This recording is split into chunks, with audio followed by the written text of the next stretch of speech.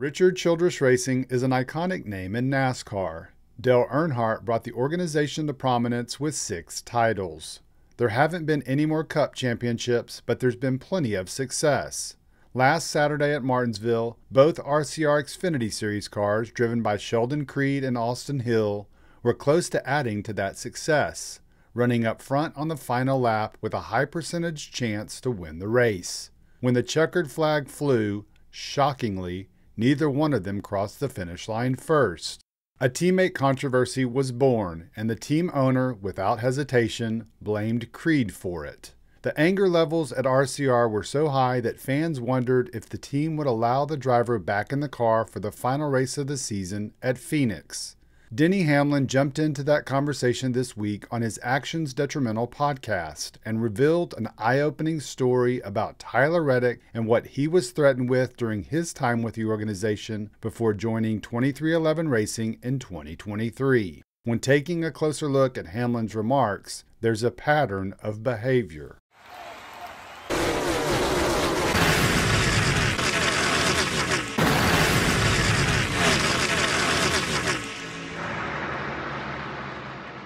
Saturday night at Martinsville was full of drama, and it interestingly started on the final lap of the Xfinity Series race with everything on the line and both Richard Childress racing drivers, Sheldon Creed and Austin Hill, running first and second and trying to win the race and more significantly, clinch a berth in the championship four in Phoenix.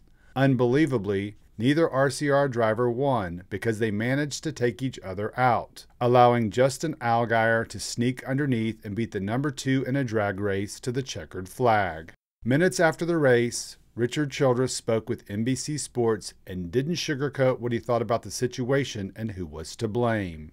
I've had drivers drive for me before, but nobody as stupid as Sheldon Creed. You don't do that as a team player. What else do you want me to tell you?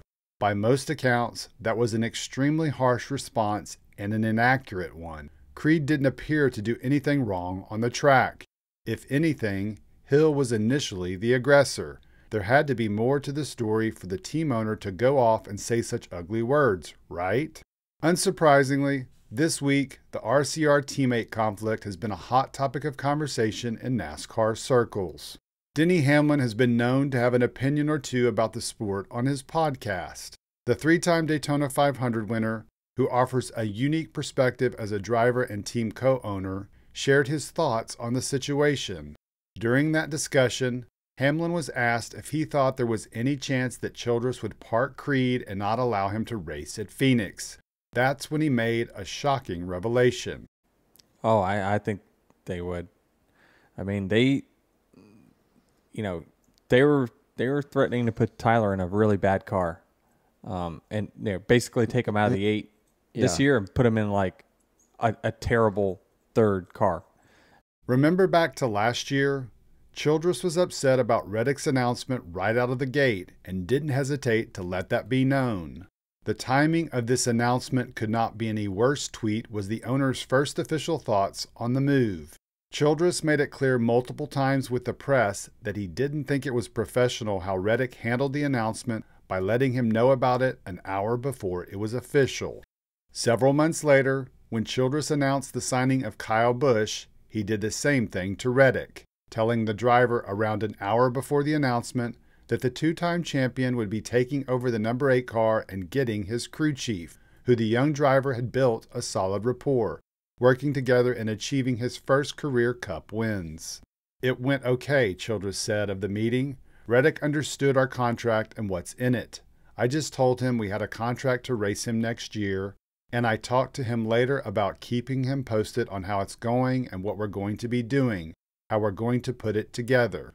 What they were going to do, according to Hamlin's account, was put together a poor running car and effectively sabotage Reddick's efforts in 2023. That's a very vindictive mindset, to say the least. Childress was clearly not happy Reddick was leaving. Does that sound familiar? It should, because it was less than a month ago that Creed unexpectedly made an announcement that he was leaving RCR and in that statement mentioned how he was extremely excited to share his 2024 plans in the future. Remember, this was while he was still alive in the Xfinity playoffs.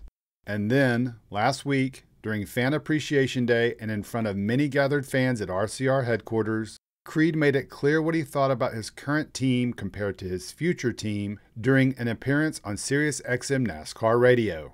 Yeah, yeah, I've been signed to something for a few weeks now. Um, I'm really excited about it, and um, honestly, it's maybe my best opportunity yet. So, really looking forward to, to next year and excited to share those plans with you guys.